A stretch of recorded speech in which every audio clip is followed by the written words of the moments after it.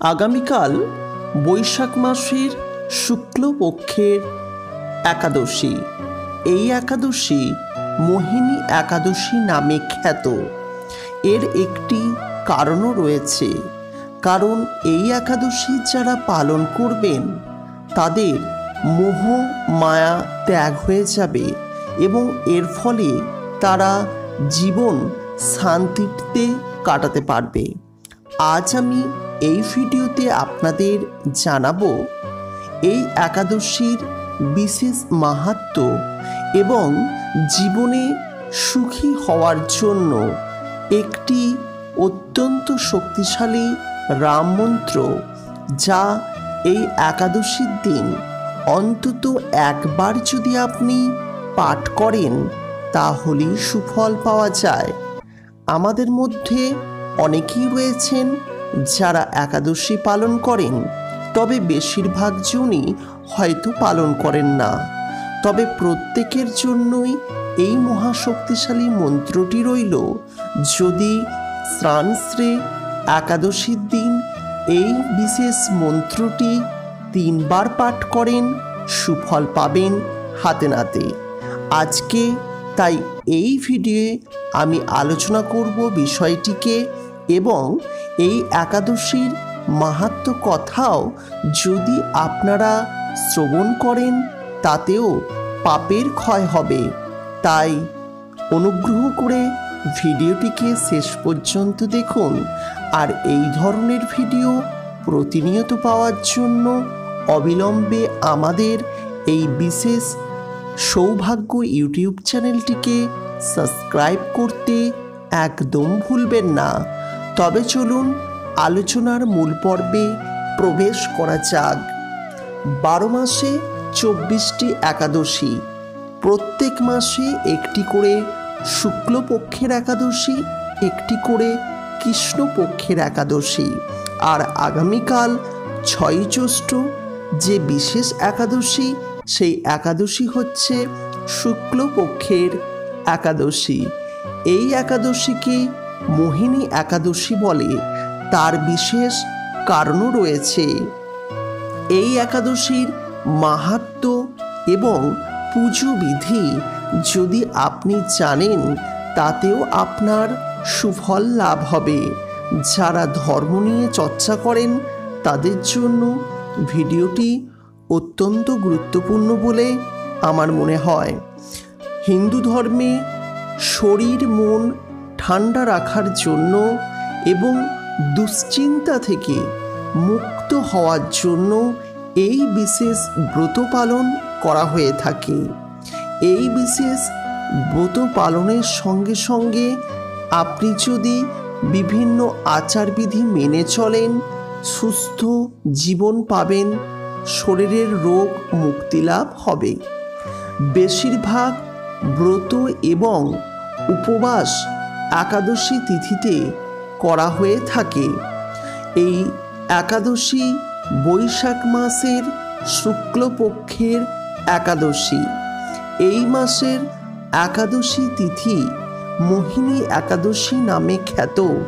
এর একটি কারণ এই ব্রত যারা পালন করবেন, তাদের শরীর এবং মন নিয়ন্ত্রণে থাকবে।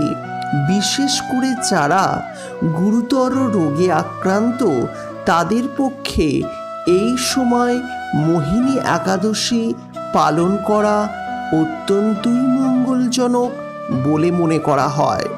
মনে করা হয় এই একাদশী তিথির উপবাস করলে মন থেকে মোহ, মায়া ত্যাগ করে ফেলা যায়। তাই এটিকে মোহিনী একাদশী বলা হয়। যারা নিজেদের জীবন থেকে মোহমায়া ত্যাগ করতে চান, তাদের কাছে এই দিনটি বিশেষভাবে গুরুত্বপূর্ণ। এই দিন ভগবান শ্রীহরির নাম সংকীর্তন অবশ্যই করা উচিত। এই বছর, অর্থাৎ দু হাজার একুশ সালে বাইশে মে, অর্থাৎ সাতই জ্যৈষ্ঠ শনিবার মোহিনী একাদশী পালিত হবে। মনে করা হয়, সাধারণত যিনি এই ব্রত পালন করেন, তার জীবনের সব চিন্তা এবং মোহ কেটে যায়। এর পাশাপাশি ঐশ্বরিক অনুভূতি লাভ হয়, তার পাপবোধ কমে যায় এবং মনের শুদ্ধিকরণ বৃদ্ধি পায়। এছাড়া তিনি যে কোনো ধরনের দুর্ঘটনা থেকে মুক্তি লাভ করেন। এই একাদশী তিথির মুখ্য দেবতা ভগবান বিষ্ণুদেবের উপাসনা করা হয়। এই দিন ভোরবেলা যদি উঠে সূর্যকে প্রণাম করা হয় এবং তারপর ভগবান শ্রীরামের আরাধনা করতে বলা হয়ে থাকে। শ্রীরামের আরাধনা করার জন্য হলুদ রঙের ফুল, পঞ্চামৃত এবং তুলসী পাতা অর্পণ করার কথা বলা হয়েছে। পাশাপাশি ফল নিবেদনও করতে হবে। রাম মন্ত্র জপ করুন, মন থেকে পুজো করুন, এই দিন ফলাহার করুন বা তরল আহার গ্রহণ করুন। দেখবেন জীবনে সুখ, শান্তি, সমৃদ্ধি সবই ফেরত পাবেন। এর পরদিন ভোরবেলা একবেলা অন্ন গ্রহণ করুন এবং অসহায়কে অন্নদান করুন। এতে সমস্ত রকমের পাপ মুছে যাবে এবং ঈশ্বরের সান্নিধ্য লাভ হবে। তবে এই দিন একটি বিশেষ মন্ত্র রয়েছে, যা আপনি যদি অন্তত তিনবার উচ্চারণ করেন, সকল প্রকারের সুখ শান্তি সমৃদ্ধি বৃদ্ধি পাবে আপনার জীবনে।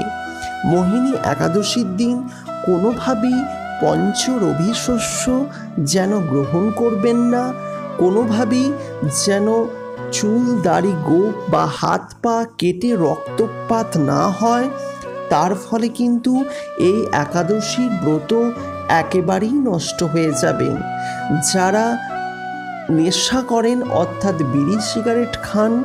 তাদের ক্ষেত্রেও সংযত থাকতে বলা হয়েছে, নচেত এই ব্রত পালন হবে না। তবে এই ব্রত পালন করতে যদি আপনি চান, অন্তত স্নান করে সকালে উঠে তিনবার বলুন এই বিশেষ মহাশক্তিশালী মন্ত্র। মন্ত্রটি হল ওম রাম নাম রামায় নমঃ। ওম রাম রামায় নমঃ। ওম রাম রামায় নমঃ। ভগবান রামের মূর্তি বা চিত্রের সামনে এই মোহিনী একাদশীর দিন বিশেষ মন্ত্রটি উচ্চারণ করুন। ভালো থাকুন, সুস্থ থাকুন, সবাইকে ভালো রাখুন। নমস্কার।